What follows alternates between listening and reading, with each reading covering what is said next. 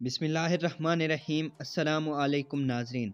आज की इस वीडियो में हम बात करने वाले हैं हकूमत पाकिस्तान की जानब से 2022 में जो नए प्रोग्राम लॉन्च किए गए हैं, उनमें आप घर बैठे सिर्फ़ एक मैसेज करके अपने मोबाइल के साथ किस तरह से रजिस्ट्रेशन कर सकते हैं तो आज की इस वीडियो में आपको कंप्लीट डिटेल के साथ यहाँ पे आपको रजिस्टर करके भी दिखाएँगे।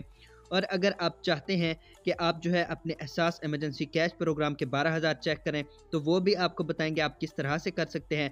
नई रजिस्ट्रेशन भी हो रही हैं, वो भी आप कर सकते हैं। और उसके बाद नाजरीन, अगर आपकी उम्र 18 साल से ज़्यादा है और आपका शनाख्ती कार्ड भी बना हुआ है तो आपके लिए बहुत बड़ी खुशखबरी आ चुकी है क्योंकि हुकूमत पाकिस्तान की जानब से तीन ऐसे प्रोग्राम हैं जिनमें आप अप्लाई कर सकते हैं और उनसे इमदाद भी हासिल कर सकते हैं। अगर आप चैनल पे पहली बार आए हैं तो आपसे रिक्वेस्ट चाहिए कि चैनल को सब्सक्राइब करने के साथ मौजूद घंटे के निशान को दबा के आल पे क्लिक कर दें ताकि इस तरह की जितनी भी वीडियोस हों, आने वाले दिनों में कोई भी नया प्रोग्राम लॉन्च किया जाए तो उसकी अपडेट आपको सबसे पहले इस चैनल पे दी जाए। तो नए प्रोग्राम्स में भी अप्लाई करने का तरीका आपको बताएँगे, लेकिन बहुत से अफराद ऐसे भी हैं जो चाहते हैं कि आप एहसास इमरजेंसी कैश प्रोग्राम में अब अप्लाई कर दें, क्योंकि उन्होंने पहले अप्लाई नहीं किया था तो उसके लिए आपने क्या करना है कि आपको जो है अपने शनाख्ती कार्ड लेकर एहसास के सेंटर चले जाना है। हर इलाके में ही एहसास सेंटर मौजूद होता है। अगर आपको पता नहीं है कि आपका एहसास सेंटर कहाँ पे है तो आने वाली जो हमारी वीडियो है वो इसी टॉपिक पे होगी कि आप किस तरह से चेक कर सकते हैं कि आपके इलाके में एहसास सेंटर कहाँ है। तो आपने वहाँ पे जाके अपनी रजिस्ट्रेशन करा तो रजिस्ट्रेशन के बाद आपकी जाँच पड़ताल की जाएगी और देखा जाएगा अगर आप अहल होंगे या ना अहल होंगे तो आपको मैसेज करके बता दिया जाएगा। तो नाजरीन, अब बात करते हैं कि आपने नए प्रोग्राम में अप्लाई किस तरह से करना है।